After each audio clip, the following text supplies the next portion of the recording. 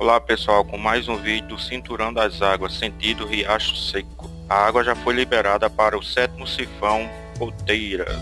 Antes estava até o sexto sifão Ferrovia.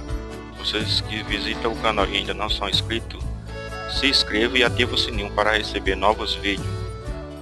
E visite o canal do amigo Erivandas Aventura e Pescaria. E se inscreva, o link se encontra nos comentários no terreiro se despede da vida do peão. Quando verde eu procuro pelo chão, não encontro mais nem mandacaru. Da tristeza ter que viver no sul, pra morrer de saudades do sertão. Chuva é pouca, o chão é quente, mas tem mão boa enganando a gente, secando o verde da irrigação. Oh, oh.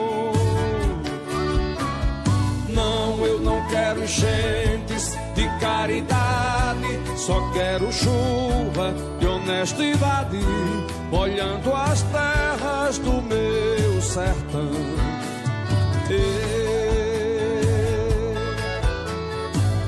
Eu pensei que tivesse resolvida essa forma de vida tão medonha, mas ainda me matam de vergonha.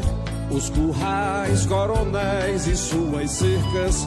Pensei nunca mais sofrer da seca no Nordeste do século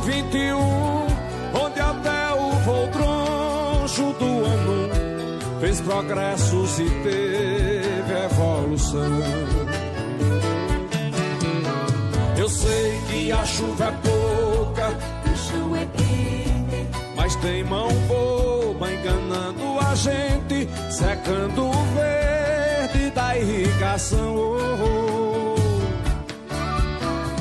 Não, eu não quero enchentes de caridade, só quero chuva de honestidade, molhando as terras do meu sertão.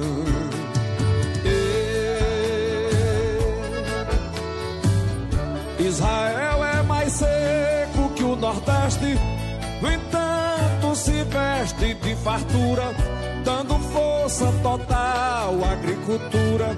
Faz brotar folha verde no deserto, dá pra ver que o desmando é certo.